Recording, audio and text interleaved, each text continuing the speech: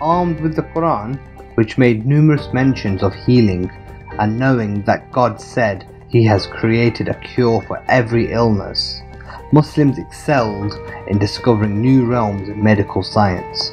At a time where Baghdad alone had some 80 hospitals, some of the greatest legacies of the Muslim world to this day are in the medical field. Al-Razi was one of the world's first great medical experts.